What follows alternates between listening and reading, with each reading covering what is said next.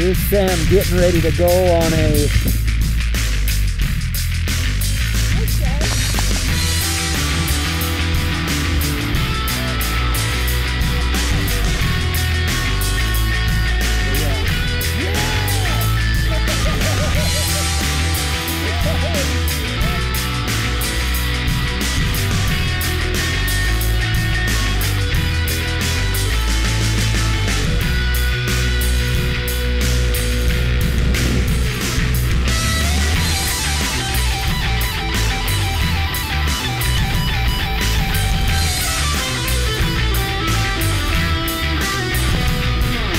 straight